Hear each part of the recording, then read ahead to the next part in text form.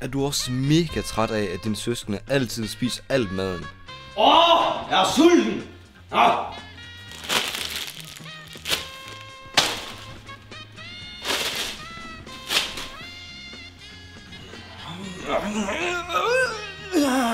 Så har vi et tip, der kan redde dit liv. Alt du skal gøre, er at smadre et glas, putte det i brødet, og næste gang dine søskende har tænkt sig at spise alt maden, ja, så kommer de til at fortryde det. 음. 음. 음.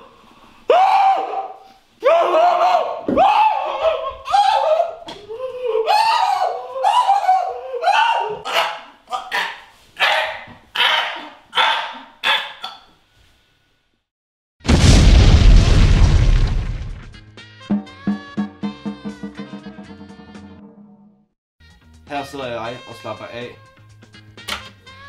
Max, jeg åbner din dør og går ud igen.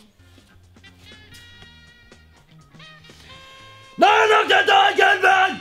Har din søster nu igen ikke lukket din dør, efter du betrygteligt har sagt, at hun skal lukke din dør, men hun gør det ikke, og det er bare mega irriterende. Men ja, så har vi et tip, der 100% vil hjælpe.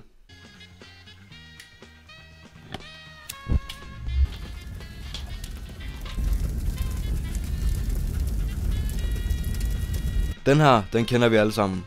Din bror sidder og slapper af, men han, han gør det bare sådan, at han ser rigtig irriterende ud. Man kan ikke sætte en finger på det.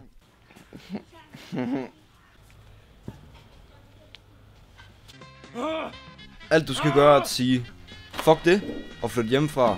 Der, der er simpelthen ikke noget at gøre.